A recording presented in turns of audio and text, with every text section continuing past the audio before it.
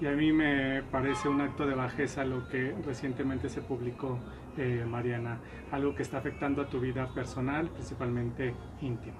Mira, me enojé cinco minutos, pero qué bueno que lo preguntas porque a mí no nada de nada puede afectar mi vida personal. Soy una mujer súper feliz. Ojalá que estas personas, seguro fue una mujer porque fue tomada en el baño del Sport City en los vestidores. Este, ojalá le haya ido bien, le hayan dado una buena lana por esas fotos.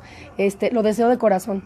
Porque no me voy a meter en ningún otro rollo, no tengo nada de que avergonzarme, yo no estaba faltando respeto, no salí a la calle en pelotas, no subí una foto se metieron en la intimidad y ahí no puedo tener control. Entonces no puedo enojarme ni estar maldiciendo ni diciendo cosas de algo que no me está afectando en nada. Generó mucha expectativa.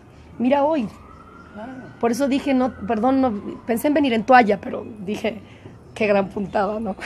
Pero, sin duda, sin, duda esto te trae, eh, sin duda esto te trae una experiencia y tendrás más cuidado cuando... Pues mira, claro, lo que pasa es que si uno va al gimnasio a hacer ejercicio, y te bañas ahí, ni modo que esté, ahora sí no voy a estar así pensando a ver quién puede estarme tomando una foto o algo.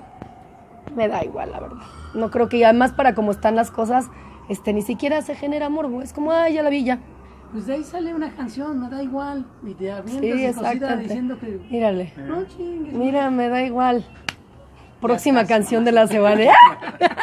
A Wiwi, dice. A Wiwi. ¿Algo quieres agregar, mujer? Nada, mi amor, como siempre agradecida con ustedes porque siempre me acompañan y me apoyan muchísimo y espero que vayan a verme este 2 de diciembre y el 9 también estoy en el Metropolitan con la Sonora Dinamite. Enhorabuena.